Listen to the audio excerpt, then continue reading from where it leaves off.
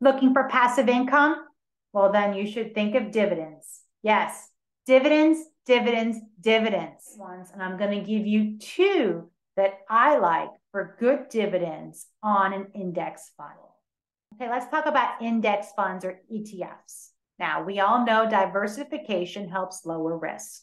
So you can invest in an ETF or an index fund that has many different stocks in its portfolio rather than a dividend stock.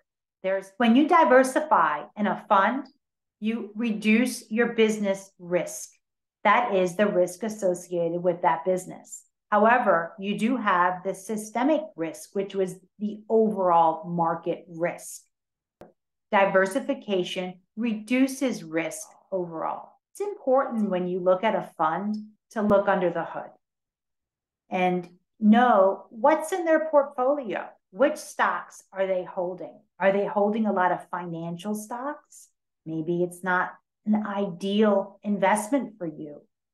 Be familiar with what's in the portfolio before you invest. Warren Buffett said, know what you invest in. That's important. So know what you invest in before you do. It's important to look at the fund's portfolio.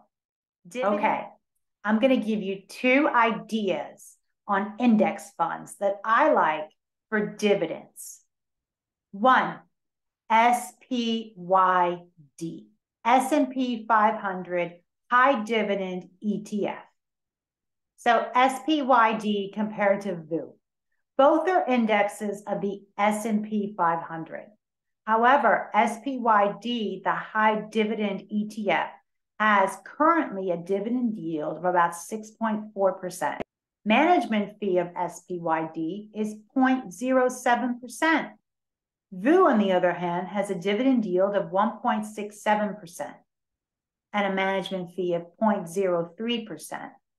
You can see why I prefer SPYD, high dividend ETF.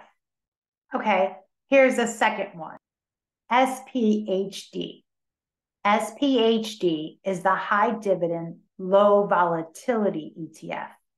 SPHD currently has a dividend yield of 4.25%, management fees at 0.3%.